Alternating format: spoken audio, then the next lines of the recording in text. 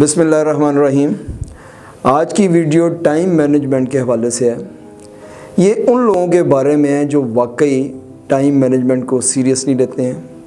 ان کے کچھ زندگی کے اہداف ہیں جن کو وہ مکمل کرنا چاہتے ہیں اور وہ سکسیس کانشیس لوگ ہیں۔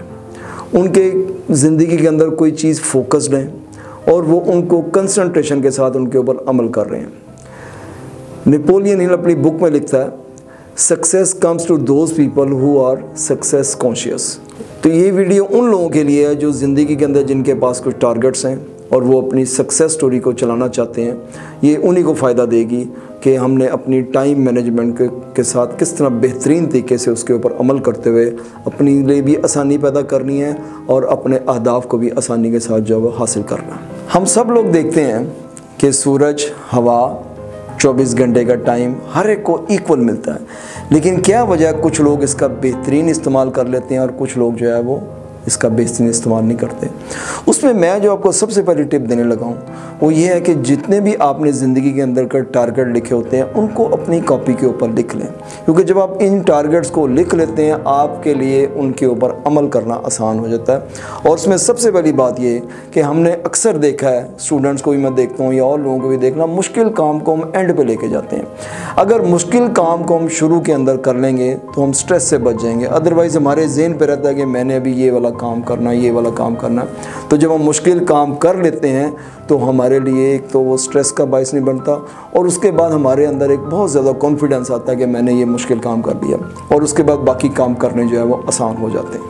دوسرے اس حوالے سے کہا جاتا ہے کہ اپنے کام کو رسپیکٹ دیجیے رسپیکٹ سے یہ مراد ہے کہ اگر آپ پڑھائی کا کام کر رہے ہیں یا کوئی آپ کتاب پڑھ رہے ہیں یا آپ کو لکھنے کا کام کر رہے ہیں اور اس کے اندر اگر آپ کے موبائل کی گھنٹی بچ گئی ہے تو آپ نے اس کی طرف ڈسٹریکشن کر لیا تو اس کا مطلب ہے کہ آپ اپنے کام کے ساتھ سنسیئر نہیں ہیں۔ اس لیے خدا رہا جب بھی کوئی ایسا کام کریں، اپنے موبائل کو یا سوشل میڈیا کو، اگرچہ آپ اس سے ریلیٹڈ کوئی کام کر رہے ہیں تو پھر تو ٹھیک ہے، لیکن اگر اس سے ریلیٹڈ کام نہیں ہے تو پھر آپ کی ڈسٹریکشن جو ہے وہ آپ کا جس کام کے لیے آپ وہاں بیٹھے ہوئے ہیں، وہ یہ آپ اس کی جو ہے وہ آنر نہیں کر رہے۔ تو اس لیے جب بھی کوئی ایسا کام کریں، اپنے موبائل کو اور سوشل میڈیا کو اس سے اپنے آپ کو آف رکھیں۔ اگر آپ اپنی زندگی میں دیکھیں، تو ہم صبح اٹھتے ہیں۔ صبح اٹھنے کے بعد وہ قرآن پاک پڑھتا ہے، نماز پڑھتا ہے، اس کے بعد ایکسرسائز کرتا ہے، کچھ لوگ کتاب پڑھتے ہیں، پھر اس کے بعد ناشتہ ہوتا ہے، ناشتے کے بعد اپنے دفتر جاتے ہیں۔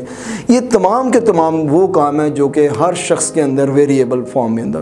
تو اس کے لیے ایک میں ایک جگہ پڑھ رہا تھا رابن شرما کی بک کے اندر کہ ٹونٹی ایٹی کا فارمولا جو استعمال کرنا چاہیے۔ ٹونٹی ایٹی کا فارمولا یہ ہے کہ آپ ٹونٹی پرسنٹ ایسے کام کریں جو آپ کو ایٹی پرسنٹ پروڈکشن دے۔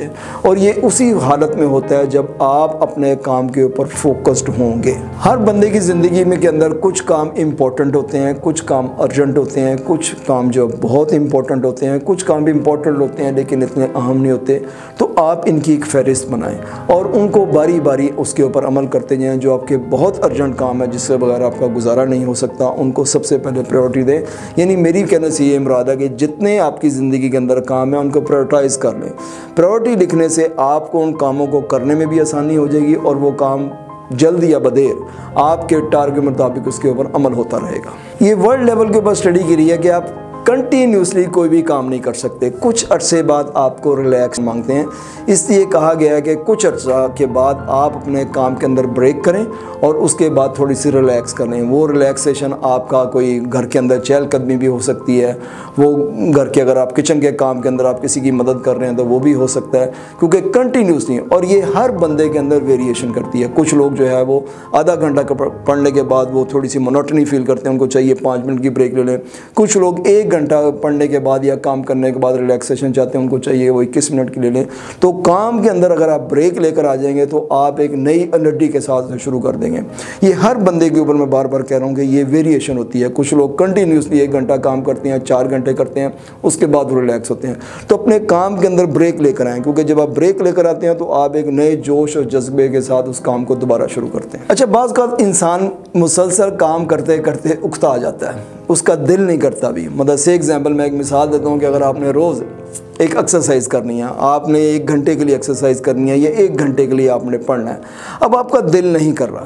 لیکن اس عادت کو بریک نہیں کرنا بھی۔ آؤ، وہ جو کام آپ ایک گھنٹہ کرتے ہیں، اس کو بے شک آپ پندرہ منٹ کے لیے کریں۔ وہ جو کتاب آپ نے لکھنا تھا یا پڑھنی تھی یا کوئی کام آپ نے لکھنے والا کرنا تھا، اور آپ کا دل نہیں چاہ رہا۔ آپ روز بیٹھ کے دو گھنٹے کام کرتے تھے، لیکن اس کے اندر بریک نہ لے کر آئے۔ چاہے وہ پندرہ منٹ کے لیے لکھیں، لیکن اپنی اس عادت کو ترک نہ کریں، کیونکہ جب آپ اپنے کمفرٹ زون کو جب آپ چھوڑنے کی کوشش کرتے ہیں یا اس سے باہر نہیں نکلیں گی، تو وہ پھر آپ کی عادت پکی ہو جائے گی اور آپ کے بعد اس کو کام کرنے کا آپ کو مزہ نہیں آئے گا۔ اور اپنے کام کے حوالے سے یہ میں پہلے بھی اپنی کسی ویڈیو میں کہتا رہتا ہوں کہ آلویز انسپائر یور سیلف وہ انسپائریشن وہ کوٹیشنز ہو سکتی ہیں. وہ بڑی پرسنالٹی کے فیمس ان کی کوٹیشنز ہو سکتی ہیں، ان کی تصاویر ہو سکتی ہیں، وہ آپ کے مینٹور ہو سکتے ہیں، وہ آپ کے ٹیچر ہو سکتے ہیں، وہ آپ کے گھر میں آپ کے والدین ہو سکتے ہیں.